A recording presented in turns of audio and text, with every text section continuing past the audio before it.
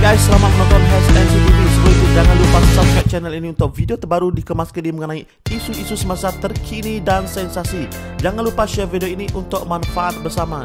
Hai guys, selamat bertemu kembali. Apa kabar? Hari ini saya akan kongsikan sedikit info mengenai boleh rentas negeri, tapi elakkan aktiviti berkumpulan.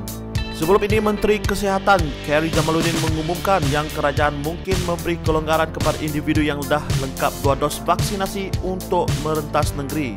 Katanya lagi memandangkan liputan imunisasi di negara kita mencecah 60% populasi dewasa. Kelonggaran pergerakan patut diberikan dan perkara ini dikatakan sendiri oleh Presiden Persatuan Pakar Perubatan Kesihatan Awam Malaysia Datuk Dr. Zainal Arifin Omar.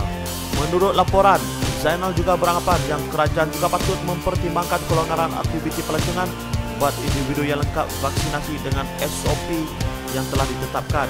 Katanya kalau nak rentas negeri kerana mahu pulang ke kampung untuk menziarahi orang tua bolehlah tapi pastikan orang tua kita juga sudah divaksinasi.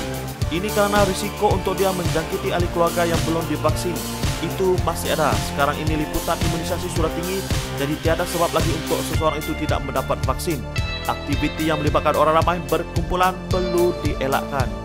Walau bagaimanapun, kita tunggu sehingga ianya diumum sendiri oleh kerajaan. Semoga kita semua dijauhkan dari wabak ini. Alright guys, sudah buat planning untuk merentas negeri. Pastikan anda sudah divaksinasi. Dua dos lengkap ya. Rakyat di negara ini nilai sendiri. Suara rakyat, suara keramat. Sekian dari HSNC TV. Terkini dan sensasi.